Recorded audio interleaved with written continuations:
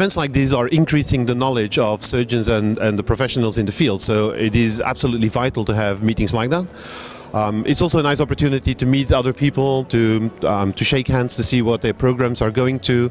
You have a bit of an informal contact with them, which is very important. Uh, if it's about the scientific content, we, we know them, we can speak to them in their own uh, practices. But here, you really come to to socialize and to make sure that the, the knowledge um, from both companies as professionals are increased through presentations. And I think um, otology is a very broad field. So having that broad field in a place like this, which is very accessible, very well known, uh, that is, that is uh, a big advantage for the, the, the, the hearing professional community.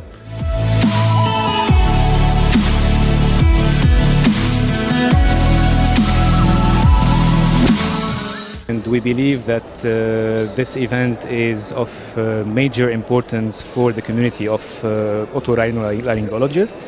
Uh, we as a company uh, have been uh, at the forefront of uh, the technology improvement for everything that it relates to ENT surgery and in particular the minimally invasive and endoscopic one. Now, uh, our participation here has many uh, uh, angles to it. We, we do realize how much how important it is for young surgeons and for surgeons of uh, a certain caliber, also of a, of a certain experience, to learn uh, novelties or novel procedures to operate on uh, the ear and as well the, the nose and the larynx.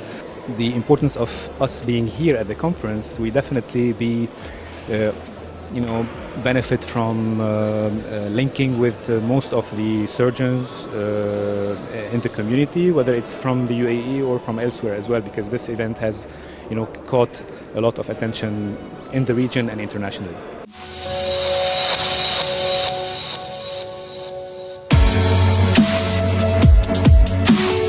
It's uh, very exciting. What we can see is the level of professionalism um, every year rises. The, um, I mean, the speakers list is fabulous. The topics are well selected. It's touching on so many topics that it is really a joy to be here.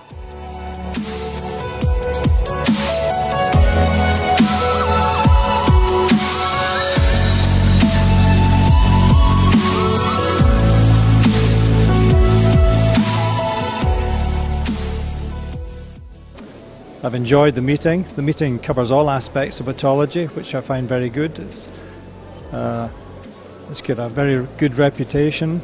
I know people are travelled from, from all, all over the, the, this part of the world to come to the meeting. And it's nice to meet colleagues from different cultures to discuss problems that we all have. So it's been a, a very worthwhile experience being here.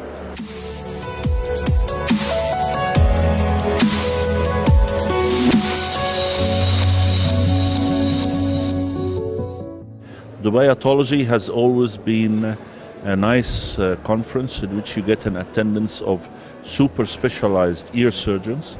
These super specialized ear surgeons meet with each other. There's a networking and by which we contact each other and we help in the development of our specialty. Uh, otology is gradually being uh, divorced away from ear, nose, and throat and uh, otology is going to be in the recent future a special branch in uh, medicine. And uh, we are trying to make that happen by concentrating on everything which is related to the ear. It's like in the old days when ophthalmology and eye uh, the eye became separate from different types of other specialties. So i think dubai otology is a very nice uh, meeting for such a super specialty as ear surgery.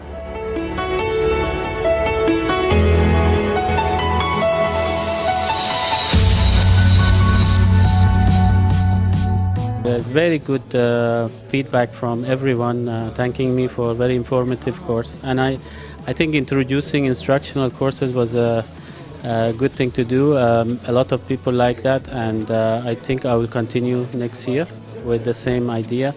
Uh, sharing the experience of uh, experts from all around the world uh, it's really important that we get them to come and share the latest evidence in practice uh, in the field of otology and neurotology. And I think uh, all the people who were attending benefited a lot from these meeting. And I also want to comment on the workshop. Uh, the, the workshops have been very useful uh, for our audiologists and our, our uh, physiotherapists. We had a very advanced vestibular workshop uh, running for the past three days parallel to the conference. And uh, I, I, think this, these hands-on sessions really value and the people love it and they, they rather than having didactic lectures all the time. So uh, I think we should do more of uh, these uh, hands-on sessions.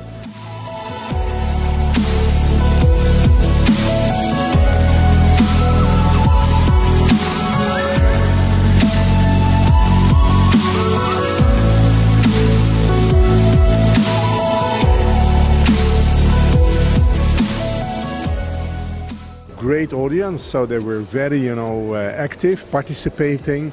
So, um, and they wanted to learn more. Uh, one of the crucial things is that you transfer knowledge so that people get the competences to do all the examination themselves. So uh, that's why I love to do that. So I travel all over the world and, and teaching. And uh, the challenge is whether people are beginners or advanced people to uh, make it possible that they can manage and treat their patients in a better way.